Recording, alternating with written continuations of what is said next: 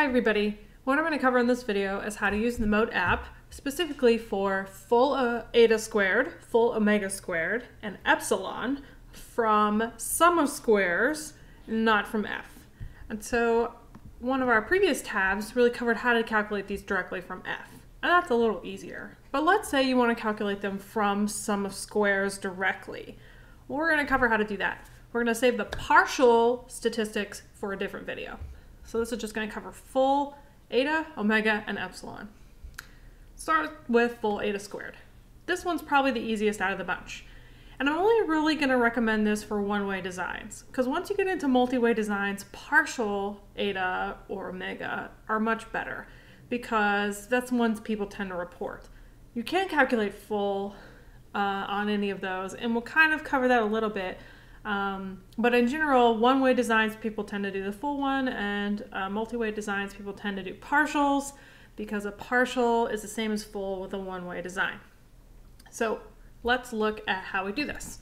So under the code, what you can see is happening for eta is that it's sum of squares model divided by sum of squares total, and we pull the f statistics from you so that we can calculate this correctly because it's based on the non-central f distribution. So these are numbers we need to calculate the confidence interval. If we look at omega, this gets a little bit trickier. Um, and it's, uh, oops, that's the wrong tab. I was like, that's the wrong formula. Um, it's a little bit more involved than just sum of squares um, model over total. So now we've got degrees of freedom model, mean square model, mean squared error, and sum of squares total. So we'll look at how to get all of those. Epsilon is very similar to omega. It just adds, it just takes out that mean squared off the bottom. So we should see that eta is the largest, followed by epsilon, and then um, omega. All right, so let's start with eta and work our way down. I'm going to show you some output from three programs uh, for one-way designs. Since two-way designs get incredibly tricky to calculate sum of squares total, I'm just going to recommend that you use this for one-way designs and then for multi-way designs you really focus on partials. Right? So what I want to do for eta squared, um, this is a between subjects design, is look for uh, sum of squares model and sum of squares total. So sum of squares here is just under sum of squares here in JASP, which is really handy. The model is the one based on your group or your independent variable. So we're going to enter 25.24 over here. We're also going to pull our degrees of freedom, which are 2 and 8, and our f value, 5.13. So we're going to do 2, 8, sum of squares model, which I said was 25.24. Hold on to that one, and 5.13. We'll use alpha as 0.05. Now where do I get sum of squares total? Because unfortunately there's no total on here anywhere. Well, thankfully for between subjects ANOVA, you just add these two together. So you take 25.24 plus 19.67. If you guys have seen me do math on my channel before, you know I'm pretty terrible, so I wrote it down. It's 44.91. Coming back over here, we would type 44.91. Calculate, and we should get 0.56. So if you watch the full video from F, you'll see that this is the exact same number. So this is why F, calculating them directly from F is sometimes a little easier. However, we get the same, basically the same answer here. And so that sum of squares total wasn't too bad. Let's look at how to do that from other programs. So here's SAS. SAS, for all of the crap that it gets, has model and error listed here and actually has the sum of squares total right here. So it actually will give you the total and you can just uh, type it in directly. So 44.91, so I would type in 25.24, what I'm interested in, 44.91, my 2 and 8, and my 5.13. And we should get back um, the same thing as r squared here. So for SAS, that's nice because it does actually have the total on it. Now in SPSS, depending on which way you run this, you might also see the total. So this is labeled as between groups and within groups, um, but really what this is is sum of squares model here, sum of squares total here, 2 and 8, and F. So really the only one that doesn't give you total outright for between subjects ANOVAs is JASP. So you have to add them together. That's not so bad. Now let's pop over to repeated measures ANOVA because this is where it gets a little bit more difficult.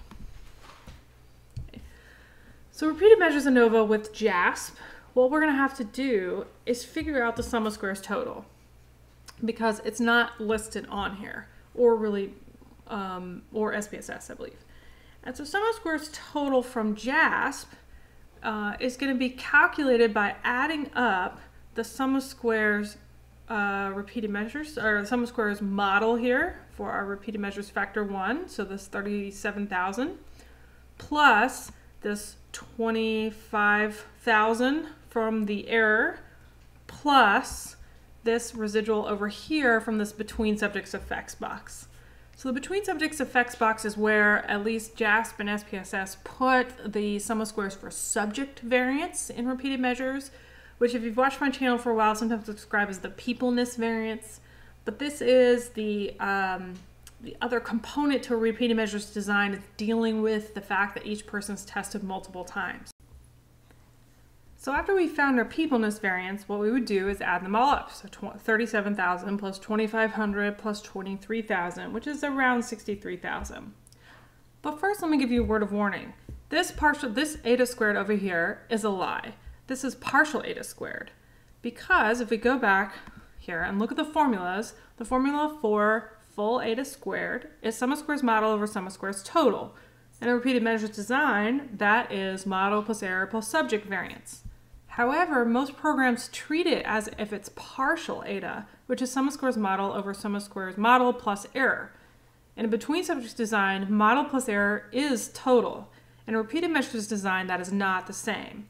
And so it's kind of a misleading thing about repeated measures designs is that the full eta squared is not correct. So you will get a different number here than you will see over here. And we'll talk about uh, a remedy of that in just a second. So if I want to calculate this correctly, what I want to do is come over here and enter, so let's say 2 and 34. Our sum of squares model, we figured out was like 37,000, so 37,572. Okay. My sum of squares total, if I add them all up, is 63,463. Our F value was at 253.3. Our alpha will keep at 0.05. Now, when I look at a summary of this, it says the eta squared is 15.59. Okay? It's actually going to give me the incorrect confidence interval. And that's because this is based on F. So it's actually calculating eta squared as if it is partial. So your confidence interval here will not match. Now that is the actual F or eta squared statistic, but because that subject variance gets thrown out, or excluded, um, that in F, it, it might also need to be excluded in eta. So it kind of depends. Um, you won't be able to get a proper confidence interval because the confidence interval is based on F, um, which doesn't include subject variance. So if we didn't want to include subject variance here and we wanted it all to kind of even out, what we could do is just calculate 37,572 plus 2522. And at this point, you might as well use the partial page. But if I did that, um, I did not pre-add these together. So 37572 plus 2522 is more like 40,094. And let's go back over here. Change our sum of squares total out, so 40,094. And now you're gonna see numbers that match. So this there's a disconnect here between the formula, right, and F, because the formula uses sum of squares total, um, but our F's are the way that we calculate the confidence interval is actually based on F. And since F excludes subject variance, potentially we should exclude subject variance over here as well. Um, but one thing to note is that you shouldn't report a confidence interval where the effect size is not in it. And so that's why you're going to see this discrepancy. And that's one thing our lab is working on is thinking about maybe how to fix that discrepancy since uh, eta squared is known to be biased, especially for repeated measures designs. That's completely off subject, field, but that's how you get the numbers. Let's look at omega now and also use um, a similar set of outputs. So let's switch outputs and look at SAS here. And so I could have showed you uh, before, that's here's where I got the total number. So SAS actually gives you the total. It's one of the only programs that actually shows you the complete sum of squares total. Right? Now it shows me my model here, but I really am more interested in down here for feelings. So sum of squares um, for sum of squares model is actually this one down here. Don't use the one up here um, because that'll give you subject and um, and IV at the same time. And so we want to use this 37,001 here. We've got our degrees of freedom as 2 and 34. And we talked about this in one of the other videos about how this model component here is the combination of these two things. And we're really more interested in just the IV and not where it says subject. And so we could enter those directly from here, but omega does something slightly different. So let's enter what we know. We know it's 2 and 34. And now it's asking me for mean square model. Well, mean square model is going to be on this output, is going to be here under mean square, and then here for our IV. So we've got 18,786. I round up 18,786. My mean squared error is going to be here, where it says error under mean square, so 74.17. and my sum of squares total. And this is the tricky part. So do we use the full sum of squares or do we not? But let's go ahead and enter sum of squares total as 63,000 and see what answer we get. So it's 63, 463, if I round up. Calculate, we get omega squared is 0.59. You'll see that that confidence interval doesn't quite match. And then if I look at my output, so we don't get omega squared in this one, but we do see omega squared in our JASP output. Mm, doesn't quite match. And so what we can what we can say is that they're probably using um, sum of squares, um, sum of squares model plus sum of squares uh, error to mean the total instead instead of the full sum of squares total, which we figured out was 40094. And then now you'll see an omega squared much more in line. So for sum of squares total on a repeated measures design, you shouldn't drop the subject variance, but to make these work with the confidence intervals correct, we will drop the subject variance. Now you see the same thing on epsilon. Epsilon just um, changes the denominator here. and so let's take one more look, this time at SPSS. Okay.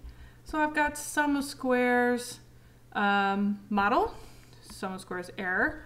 Mean square model is 8701, mean squared error 74.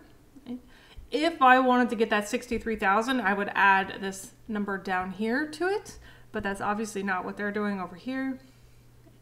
And so you could get to the 63,000 as well, but we've kind of already covered how this doesn't totally work. So let's try that. So 2 and 34. Our mean square model was this 87,786. 18,786. Our mean squared error was around 74. And our sum of squares total with the only the error and the model in it is 40,094 and then we hit calculate and we should get around the same numbers. Now all of these are precisely the same in two decimal places um, because it's so big. If we were to use one that was a little smaller, uh, you would see the differences between omega, epsilon, and eta, um, where they tend to fall where omega is the smallest, then epsilon, and then eta is the largest. Um, but what really what I wanted to cover was for repeated measures design, sum of squares total should, in theory, include model plus error plus subject variance. In practicality, because of the way that the confidence intervals are calculated from F, where subject variance is excluded, you should also exclude um, subject variance and treat sum of squares total as model plus error. And that way, your confidence interval will include the actual effect size. Now, if you wanted to calculate it as um, completely over total, I would just not report the conf- uh, confidence interval. And so that's how you calculate full um, eta, omega, and epsilon from one way between subjects and repeated measures designs with some commentary on how repeated measures designs is a little different. And then what, uh, what you'll want to look at next is how to do the partial statistics based on all of these designs.